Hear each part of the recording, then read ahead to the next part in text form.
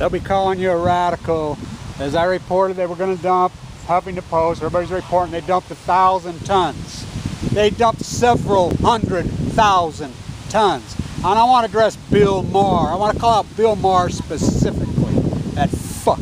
It is false equivalency. And this doctor from Cornell, this pisses me off so fucking bad. Here we've been fighting this, Jan and I. We have been the quintessential pure journalists. This is pure journalism. We've built a network, we create our sources, we build up credibility, we've done all the work for nothing, all the work.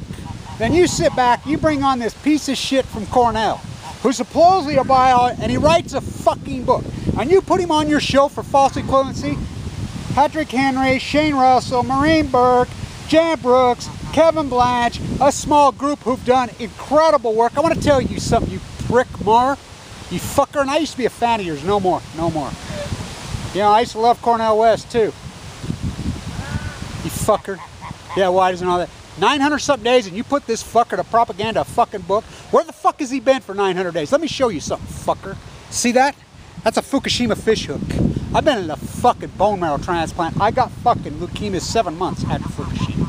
The fucking cancer death across North America is rampant. Our thing is overflowing. Let me tell you about acute myeloid leukemia, which I had. I went from 170 pounds to 119.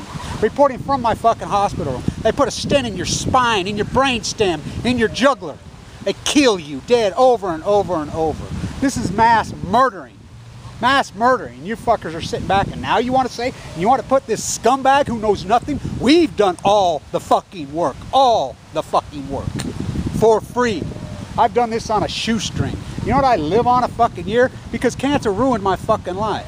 I've done this with a few chump change. People have sent me a little bit of fucking money. Fuck, if you only fucking knew. If you only fucking knew. You piece of fucking shit. And you put this fucker who's doing nothing but hawking a book. Oh, look at me. Fuck, I'm right. Fuck you. You know shit about Fukushima.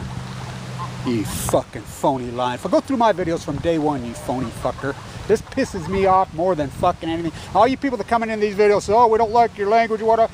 Really? Really? I do this for free. I'm a grassroots fucking hardcore journalist with a fucking network. I've reported all this in detail before anybody's even reported it over and over and over. I build up incredible credibility, and you're gonna fucking tell me? Move the fuck on to Glenn Beck. Move on to these hairspray, ABC, CBS, NBC. Let them lie to you and lie to you and lie to you. When's enough enough? When you had enough of Glenn Beck and Rush Limbaugh and all these fuckers?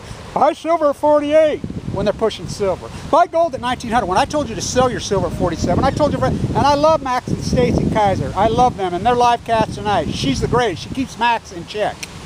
She's 10 times more brilliant than Max. I hate to say this, Max, but you got, she's the better half in that relationship. Get up. I mean, you're genius. You're the you're the reporters. PhDs will be done that, but when you get off the fucking silver thing, it's not a finite commodity. Everybody, this fucking doctor and his fucking book, telling him to take his book and stick it in his fucking ass. Stand tuned.